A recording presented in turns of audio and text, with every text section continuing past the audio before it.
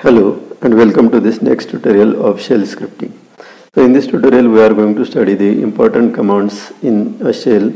These commands are chmod that is used for changing file or directory permissions, umask command used to change the default permissions and final command is the chown that is used to change the ownership of the file. Okay, so these three commands we are going to study, but before studying these commands, we will understand the basics about the files and directories in Unix. So you, uh, we have studied uh, ls command previously, and uh, the output of the ls uh, command. Let us say file one we have created ls minus l. So this is the output of the ls minus l command.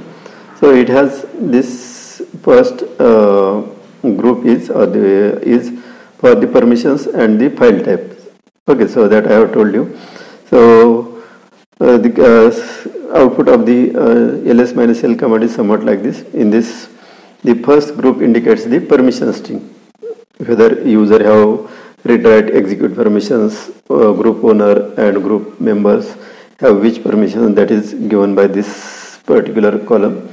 Then next is the owner of the uh, file. Next is the group owner. Then the size of the file and other information about the file okay so this is the structure of the file uh, structure of the uh, permissions so r stands for read w stands for uh, write and x stands for the execute and these first three uh, permissions are for the owner of the file or user who have created the file Second is for the group owner. In Unix is a multi uh, multi-user operating system. So that's why there can be a n number of users working on the same operating system. So uh, different groups are created. So the depending on the group owner, these are the uh, membership uh, sorry permissions for the group owner, and other members of the group will have these last permissions. Okay, so the first column of this permission group indicates whether uh, indicates the file type. So if it is a, a directory file, then it will show first letter as D, or if it is a simple uh, file, it will show it as a dash. For example, text file, doc file, these are the simple file, simple files. It will show dash for it, and for directories, it will show a D. Then there are different permissions for the uh, files and the directories. So in files, R is for read, that user can open the file w user can write into the file x execute. So normal files are executable files. For example uh, .exe file uh, .sh file these are the executable files. So if a user have x permission associated with it then user can execute the file. Now similarly directories have the same kind of the permissions but different meaning. Uh, read means user can open the directory w means user can add the files into that directory or user can delete the directory or he can rename create uh, subdirectories into it. X for execute execute the directories don't get executed but x means for directory means it is a user can search into the directory that stands for the x for directories permission. Okay now permissions in octal form. Now we have studied the permissions in ls command using rwx word. So this rwx word uh, uh, combination is equals to 111. Uh, 1 means present and 0 means absent. That means read permission is present, w permission is present, x permission is present. Now r dash x means read is present, so here it is 1. Uh, write is absent, so here it is 0 and x is present, so here it is 1. rw dash means r is 1 w is 1 x is 0 so 1 1 0 so it is like a decimal number uh, sorry it is like a binary number. So first bit position here is equivalent to this is 2 raised to 0 this is 2 raised to 1 this is 2 raised to 2 that means first bit is having the uh, decimal equivalent of 4 and the second bit is having the number as 2 and third bit is having the number as 1 so this r permission if only r permission is given it stands for r dash dash and binary equivalent is 100 decimal equivalent equivalent is 4 similarly for w binary equivalent 010 decimal equivalent 2 and for execute binary equivalent 001 decimal equivalent is 1 the total of RWX is equals to 7. 4 plus 2 plus 1 equals to uh, 7. Okay, so in decimal format, these permissions are written as now R is present, uh, dash X is present. So R is 4, X is 1. So that's why it is 5. RW means 6 and RWX means 7. All are present, that means 4 plus 2 plus 1, 7. Now calculating the octal values. For calculating the octal values, we should remember R stands for 4, W stands for 2 and 1, uh, X stands for 1. So combinedly RWX makes number as 7, 4 plus 2 plus 1. Okay, now here different examples combinations are given. For example, dash W dash equals to decimal equivalent is a 2 because R is absent, X is absent. Only W is present, W number is 2. That's why here the decimal equivalent is 2. Here R is absent, W is present, X is present. So W is 2, X is 1, so 2 plus 1, 3. Here R is present, W is absent, X is present. So R means 4 plus 0 plus 1. So 4 plus 1 equals to 5. Like this decimal equivalent of permissions is calculated by using the uh, binary number system. So same is given for octal group. Uh, if all permissions are given to owner, uh, user, user, group owner and others, then octal equivalent is 777. If owner is having all permissions and uh, group owner and others have only read and execute permission, the number will be 755 and so on. Now important note here, if of course all these permissions restrictions only apply to the uh, to the regular users an ordinary user can change the permissions of his own files only. He is not allowed to change the permissions of others' files and directories. There is one super user in Unix operating system or Linux operating system that is called as the root and root have all the permissions. So uh, irrespective of who is the owner, who have created the file or who have uh, access, uh, who is uh, access, uh, access of the owner, Independent of that, the root have all the permissions to all the files. Now changing file or directory permissions. So command used to change the file or directory permissions is a chmod command. So this is the chmod command used to change the permissions on a file. Uh, the permissions can be changed by two ways. One is octal mode way. Uh, specify new permissions as octal string, easy to use and less flexible. Symbolic mode uh, is also used, change permissions for one user class, very flexible but little complex to use. Not very hard but little complex to use. In octal mode, you can specify the exact new permission strings as octal number. So the octal number uh, command is chmod xyz and file name, where xyz is permissions. For example, chmod 755 my file. Okay, we will understand this by using a command let us check the permissions of the file existing here so there is only one file file 1 it has the permissions as it is a file so it is showing dash here. Then user have read write permission. Group owner have read permission and others have read permissions only. Now if I if I want to assign all the permissions to all users owner will have read write execute. Then uh, group owner will have a read write execute and others will uh, have the uh, read write execute. Then I will use the command as chmod 7 5 5 sorry 7 7 7 7 means read write and execute permissions.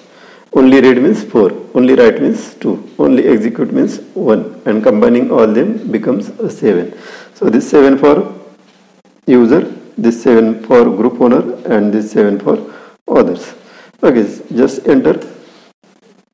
Sorry I have not given the file name. File 1 okay so we have changed the permissions of the file now let us check the permission uh, permissions on the file okay now previously oh, user had read write permission only now these permissions are changed to read write execute uh, group had the permissions, group owner have the permissions, read only. Now we have changed it to read, write and execute. Similarly for others. So this 77 we have given here that changes the permissions to read, write, execute for all. Okay, now for example say if I want to give read write execute permissions to owner. Let us write the command read write execute permissions to owner. The group uh, user read write permissions to a user whoever have created the file. Then group owner should only have the read and execute permission. So read means 4 execute means 1 so number is 5 and others will have read and write permission. So read means 4 write means 2 so 4 plus 2 is 6 and file 1 so now again we have changed the permissions of the same file. Ls minus l. Okay now user we have given read write execute permission. Read write execute that means 7 for group owner we have given read and execute that means 5 so it is read and execute and for others we have given read write permission execute permission is not there okay so like this you can change the permissions of any file of your own and if you want to change the permissions of other files then you will have to switch to the root account Okay, now uh, this is the first way of changing the permissions by using the octal mode. Next is by using the symbol mode. So how symbol mode works? For example, say here the permissions are like this. The user have all the permissions. The owner, the group owner doesn't have write permissions. So if you want to add the write permissions to a owner, sorry, a group owner, then you should write this as chmod plus W. Note, uh, notice here the group owner doesn't have write permission and we are writing a permission by using a symbolic method. So chmod plus W means add the write permission to a group owner and name of the file. Let us check whether the changes are effective or not.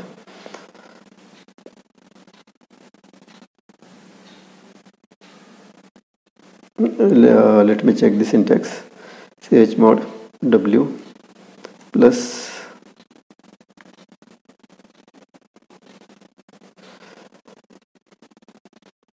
sorry. Uh, okay now let us uh, change the permissions of a file by using the symbolic method. Let us check the permissions of the file. So here the owner doesn't have the write permission. Notice here the owner doesn't have the write permission. So we want to add this write permission to a group owner. Okay so how you will uh, give, uh, add this permission? So by using chmod g plus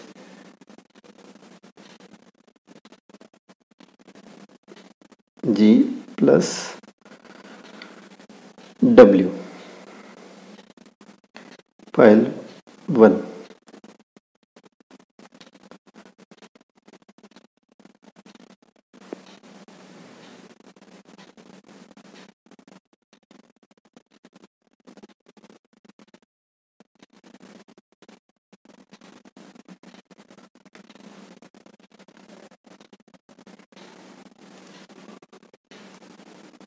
okay so we have added the uh, write permission to a owner by using the command as uh, this command chmod g plus w file 1 okay now similarly if you want to remove the execute permission for the user user have the read write and execute permission. Now you want the user should not execute the file so you can change this simply by using chmod for user u minus x file 1 so this will remove the execute permission from the user it will remove the execute permission from the user.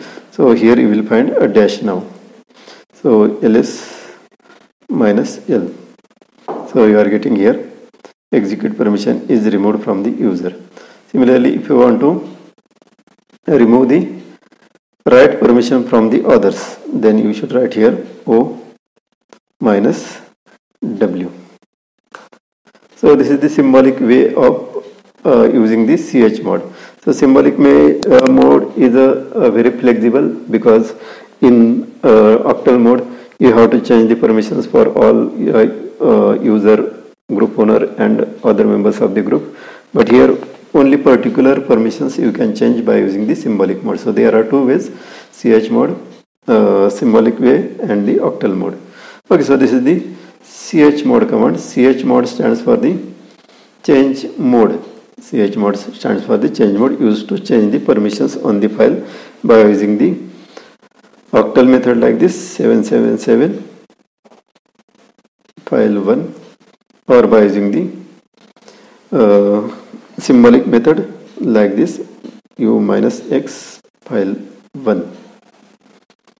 okay so these are the ways of changing the permissions to the file okay so we have studied how to change the permissions to the file by using the octal method and symbolic method. Now next uh, you can change the owner of the file. Okay so this can be done by using uh, ls minus l. Now notice that owner of the file is Avinash. And if you want to change this owner of the file chown let us say name of the user is root and uh, name of the file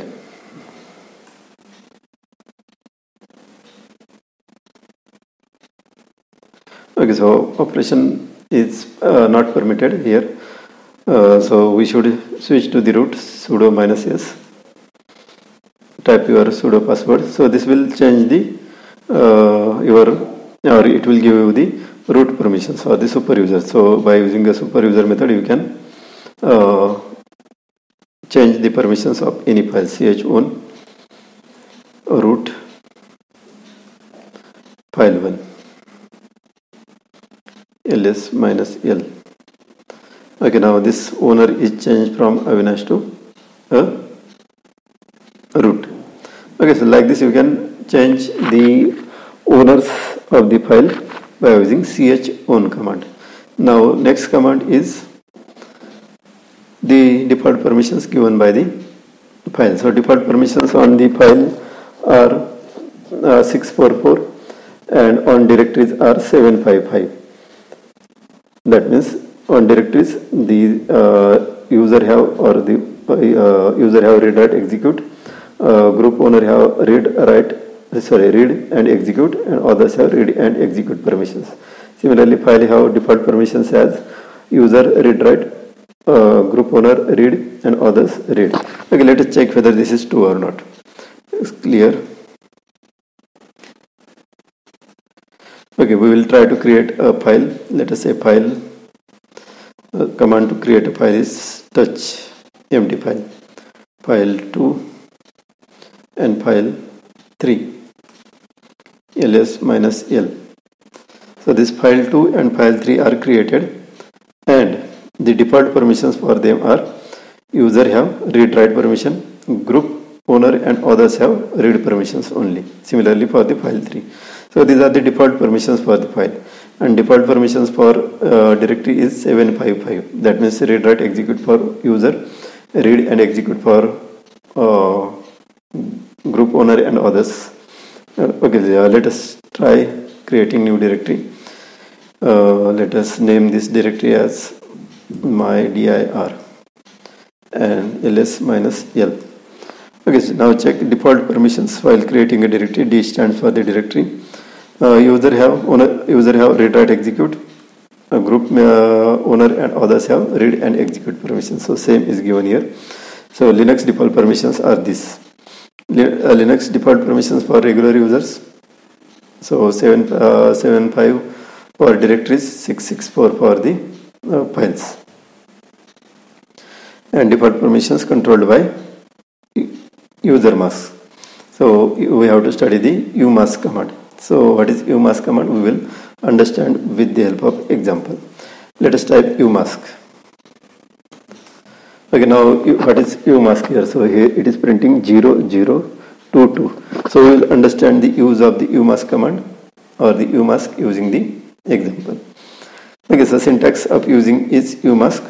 So simply the default mask is displayed by umask command and if you want to change the uh, default mask then you can type umask xyz xyz stands for the octal okay now let us understand this umask command with the help of example what are the default file and directory permissions if the umask is 0 to 7 so in our case it is 0 to 2 now here in this case 0 0 to 7 so how to find out the default permissions on file and directory by using the umask okay so first drop the first 0 so drop this first 0 now no, number remaining is 0 to 7 so consider this string 0 to 7 now next subtract this 0 to 7 from 777 so 777 are highest permission. So subtract it from the 777 so 7 minus 0 is 7 7 minus 2 is 5 and 7 minus 7 is 0 so the default permissions for the directory are 750 7 means read write execute. 5 means read and execute. 5 means 4 plus 1 read and execute. And 0 means dash dash dash. That means no permissions from the for the others. Now these are the default permissions for the directory so what is the default permissions for the file? So for finding out the default permissions for the file remove x. Remove x from everywhere. So here x is removed and here x is removed. So remaining is read write permissions for user read permissions for, for group owner and for others no permissions. So these are the 640 is the default permission. So similarly, you can find out the default permissions for a file if uh, umask is 022. In our case is same umask 022 and we have studied the default permission if a mask is 022. So method is same drop first 0 the remaining number is 022 subtract it from the highest mask 777 so remaining is 755. It is the default permission for the directory. So 7 means read write execute, 5 means read and execute and 5 means read and execute. And for default permissions on the file remove x from here. So by removing x you will get read write, read and read permissions for the file. Okay, so these are the default permissions set by using umask.